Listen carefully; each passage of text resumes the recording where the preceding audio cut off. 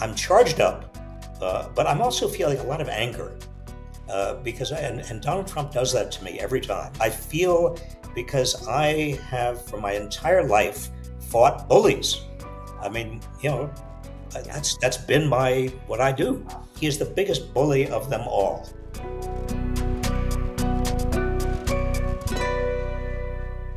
Heather, you know, Kamala Harris uh, has never debated in a presidential debate before. This is Donald Trump's eighth presidential debate, if you count the three he did with uh, Hillary Clinton and the three he did with Joe Biden in 2020 and the one he did with Joe Biden in uh, this year, uh, the 2024. He's been around doing this stuff for nine years, and she's been here for seven weeks. And let's think since July 21st, how much she has gotten done. I mean, first of all, she accepted the torch being passed to her.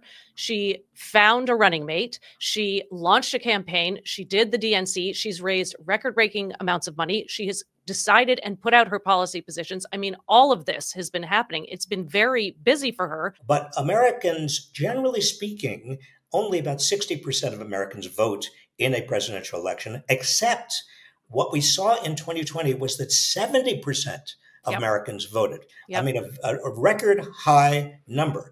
And even in the midterm elections of, of 2022, uh, yep. we had a record number for midterm elections. So right. people are genuinely interested. But this is what I felt like all night. Three people there were in one planet, and one person was on in a different orbit and I would kill to hear what people say to him when he gets off the stage. His well, well, sycophantic team. Well, oh, you, you, did great. They're all going to say that because he surrounds himself. I know, and has his entire life surrounded himself with people who say, "You're great. Yep. You know, you're you're divinely inspired. You're a, you're a, you're a, you're you're the head of our cult."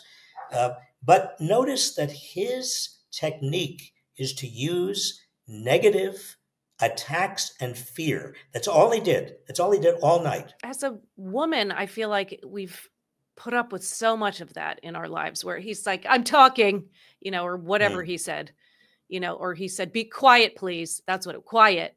I mean, he's just, it's, yeah. So I think angry and also disgusted and also sad that we've gotten this far and that people are still willing to put up with this and put that reality to the side and say, but I'm still voting for him because of X, my pocketbook, because of my core values. That's a horrible one, but it's the people who are still going to vote for him, even though they don't like him, which is a lot of people I've spoken to. There is eight weeks between now and the 2024 election.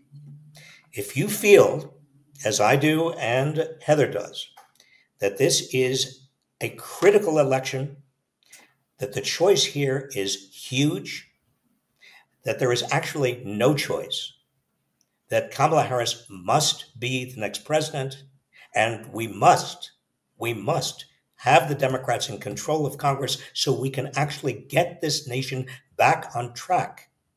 Well, then you need to take action between now and November 5th. You cannot be just somebody who sits around and watches. Democracy is not, as I've said before, is not a spectator sport.